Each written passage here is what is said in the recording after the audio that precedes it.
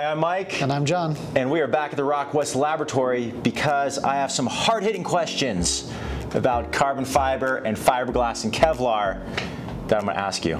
Shoot away. Okay.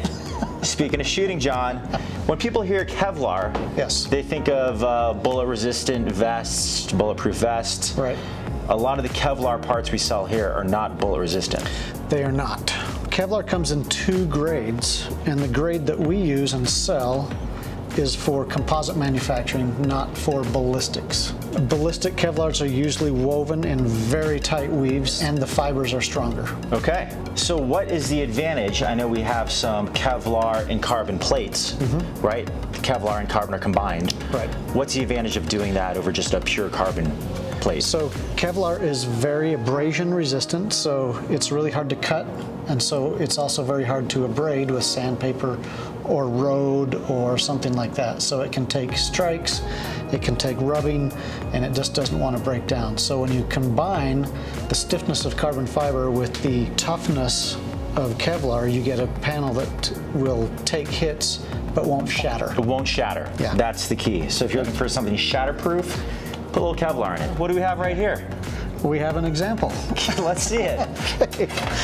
So this panel, yeah. you can see it has a nice kind of an off-white color stripe down the middle of it. This uh -huh. actually has three layers of Kevlar in between two layers of carbon fiber. Okay. So we got carbon fiber on both sides.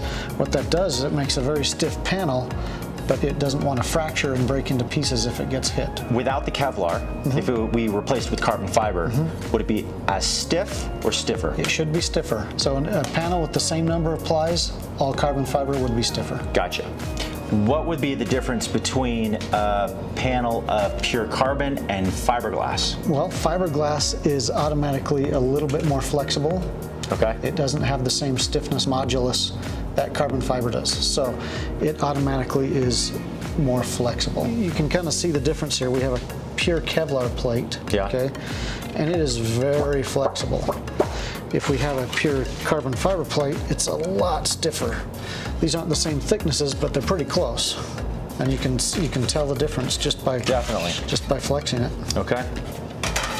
Excellent. And fiberglass would be somewhere in between. We had one other question by uh, one of our viewers. Mm -hmm. They wanted to know, is it possible to wrap uh, carbon fiber with fiberglass or vice versa? Can you wrap fiberglass with carbon fiber? Of course. You can mix and match any of these materials at any time as long as the resins that you use are compatible with each other. So John, what's what's key then if we are uh, fabricating a panel with multiple materials?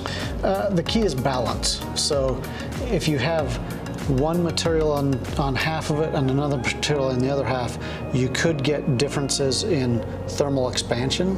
Okay. You could also get difference in flex. So it might flex in one direction but not the other. It might break sooner if you go one direction or the other. All right. So it's good to have balance to where you might want to just have carbon fiber on both sides and fiberglass in the middle or vice versa. Fiberglass okay. has many purposes other than just being easy to work with. It can be an electrical insulator. It can also work with radomes so you can see through it. It might be RF transparent. So there's a lot of reasons why you would use fiberglass and in some cases you can use them together. Right. Uh, without any detriment.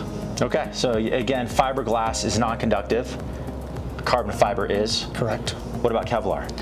Kevlar is not conductive okay. at all. It actually can be used as a radome material for low frequency radio frequencies. Um, but again, it's not very stiff, so it's not a good structural member. All right, so those are some of the plates. I also noticed we have some fabric here. Right. Some uh, carbon. Well, the interesting thing about these materials is you notice before we do anything to them, they're all very flexible, right? Correct. So all the materials are that way. So woven or braided or even unidirectional, they're all very flexible. So it's not until we add the, the resin to it, whether it's epoxy or polyester, vinyl ester, that's when it becomes stiff and hard. And, and, this is just the supporting material. Some of the unique things that we can do with these, carbon fiber is obviously the strongest or the stiffest. So that's really good for structural parts. Okay. And fiberglass is very inexpensive, so that's really good for tools and for parts that uh, you just want something really easy to mold and get a shape out of it, but really inexpensive. And if you didn't want it to conduct electi- electricity, right? Of course. Fiberglass is non-conductive. Right. All right. And then Kevlar is good for the abrasion stuff. So, in other words, you can put this on the outside layer and have a good abrasion layer if you have Kevlar or carbon fiber on the inside to create the structure. I heard a story that uh, um, some high-end race cars were actually using carbon fiber axles with Kevlar in it. So if they actually shattered off, the wheel Right. came off, the Kevlar would hold it on. Right. So they use a rope or a braid inside of the axle itself, so if they hit a wall, the wheel doesn't fly off and, and hurt another driver. We don't want that to Pretty neat stuff. Yeah, cool. What about processing uh, carbon fiber versus Kevlar and fiberglass? Any downsides? They all process basically the same until they're finished. Then it becomes a little bit more difficult. as Uh, far you lost me there. So we can mold them all very similarly. Okay. But when we want to trim them to shape, that's where we might run into some problems. All right, how so? For example, we have this Kevlar tube right here. Yep. We laid it up exactly like we would a carbon fiber or a fiberglass tube. But then we cut it in half or we cut the ends off and you see this fraying right here? Oh yeah. We don't see that with fiberglass. Fiberglass is very clean, it's very easy to sand, and it cuts with abrasion. But because Kevlar is, uh, we use it to prevent abrasion, it just frays on the edges. Okay. So we have to do special things to make that work. So one of the tricks is wet sanding. I also use super glue occasionally to hold the fibers in place and then wet sand it off I've seen you do that many times. and then it, that makes a very pretty surface. So uh, Kevlar is more difficult to use. Carbon fiber cuts very similarly to fiberglass. It is uh, a little bit more abrasive and will ruin tools faster. Uh, each one of them kind of have their own give and take. Fiberglass is glass, so Okay. it will ruin tools. Uh, carbon fiber does as well. So, So- you will go through tools faster. All right. And what about the fabric? I know when I've uh, cut carbon fiber and fiberglass, I was able to use scissors, just Yeah. shearing scissors. If someone wants to cut Kevlar, do they do anything special? It's nice to have serrated scissors to cut Kevlar because it kind of holds the fibers. Otherwise, sometimes it just pushes the fibers out while you're cutting it. So it takes special grip strength and special technique to cut Kevlar, but it can be done. But sharp scissors are the key. Okay. No dull scissors. Hear that, kids? No dull scissors. Anyways, uh, if you have any other questions, feel free to email John or me. And until next time, have a great one.